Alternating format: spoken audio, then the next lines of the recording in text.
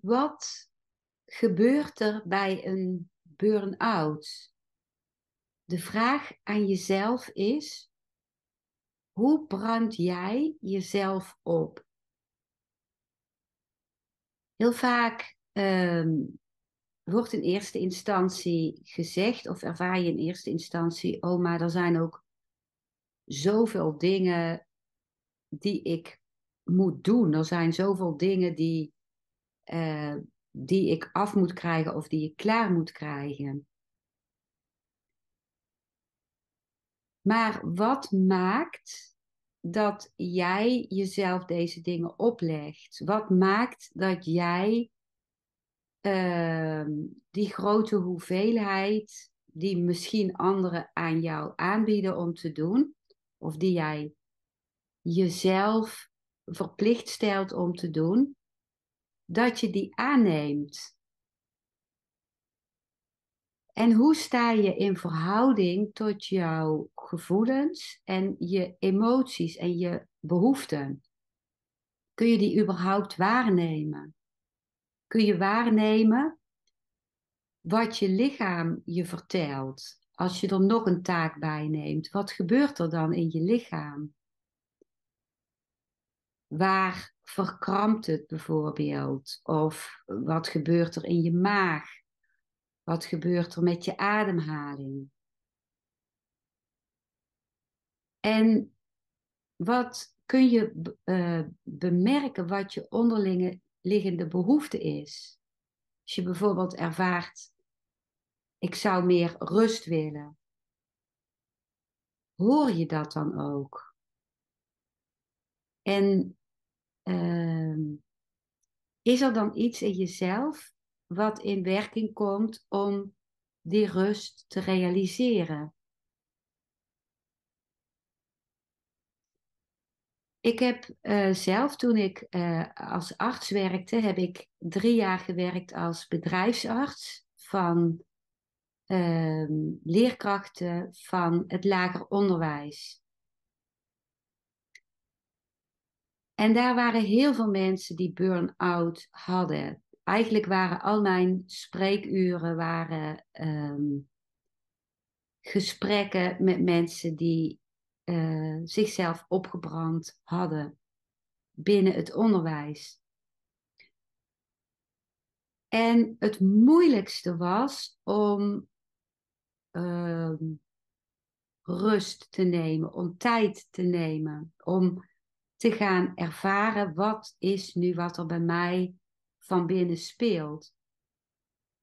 En nu vanuit de traumaheling, vanuit de somatic experiencing opleiding die ik volg, zie ik uh, wat het zo moeilijk kan maken om die rust ook daadwerkelijk te nemen. Want rust nemen wordt niet ervaren als rust, omdat juist bij het meer rust nemen alle emoties en gevoelens naar boven komen die door het harde werken onderdrukt werden. Als je als klein kind hebt gevoeld dat er een tekort was, tekort aan aandacht voor jou, een tekort aan het uh, ook echt ontmoet worden in je gevoelens, in je emoties, in wat jij wilde.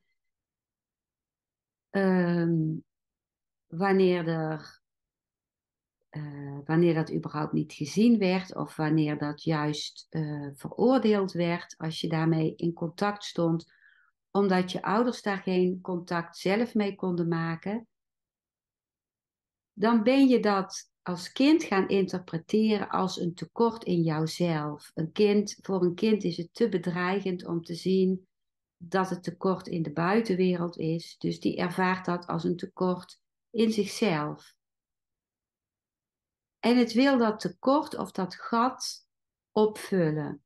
Het wil gevuld worden. Het wil het gevoel krijgen, het kind, dat het er wel toe doet. En dat is dan vaak door heel hard te werken, door heel hard best te doen. Uh, door te gaan kijken wat hebben andere mensen nodig. Uh, misschien door therapeut te worden of door ehm, massages te gaan geven of door eh, heel veel dingen voor mensen te gaan doen. In de hoop dat als je iets voor die ander doet, dat dan door die ander, uh, vanuit de dankbaarheid van de ander, jouw gevoel van tekort wordt opgevuld. Maar vaak is dat een gebed zonder einde. Dat je merkt, oh, die, die, de, de voldoening die ik ervan hoopte te krijgen, ontvang ik niet. Omdat er nog steeds dat gat is uh, en die pijn die gevoeld wil worden vanuit de kindertijd. En omdat je nog steeds vanuit dat je afsluiten voor je gevoelens en behoeften, je niet eens kunt ontvangen wat een ander je geeft. Want er is niks in je wat het kan ontvangen. Want je bent uit contact met je emoties, met je gevoelens, met je behoeften. En het kan heel bedreigend voelen om contact te gaan maken met die emoties en gevoelens en behoeften. Omdat je die zo lang onderdrukt hebt, kan er een enorme woede onder zitten en of een enorm groot verdriet of een, uh, een angst voor de leegte. Dus in mijn ogen kan het zo behulpzaam zijn om daar begeleiding bij te zoeken met iemand die uh, naast je kan staan, die, en die samen met jou kan gaan kijken naar jouw emoties, naar jouw behoeften. En alleen al dat samen geeft uh, zoveel meer ondersteuning, waardoor het mogelijk is om geleidelijk aan die emoties die onder die dek, deksel, onder dat deksel zit, zitten van jouw hoge drukpan, om die beetje bij beetje de ruimte te kunnen geven. Mocht je dat stuk begeleiding van mij willen ontvangen of een stukje daarvan, dan ben je van harte welkom.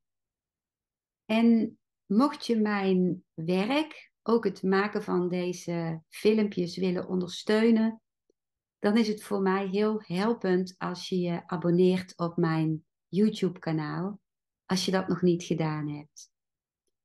Als je dat wilt doen, heel hartelijk dank daarvoor.